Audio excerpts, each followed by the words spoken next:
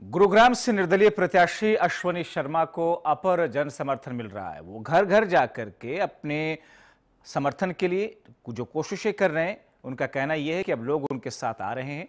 गुरुग्राम के जवाहर नगर में सभा का आयोजन हुआ, जहाँ पर लोगों ने अश्वनी शर्मा को समर्थन दिया। अश्वनी शर्मा ने कहा कि उन्होंने पार्षद रहते हुए अपने वार्ड के अलावा शहर की समस्याओं के लिए हमेशा आवाज़ उठाने का काम किया।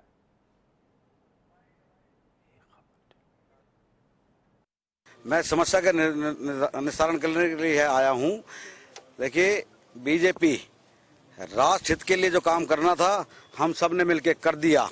लेकिन ये है, विधायक दल का फैसला है और जिसके अंदर स्थानीय मुद्दे होते हैं और स्थानीय मुद्दों के लिए विधायक की हाजिरी लोगों के बीच में होनी चाहिए, ना कि पाँच साल गायब होने की।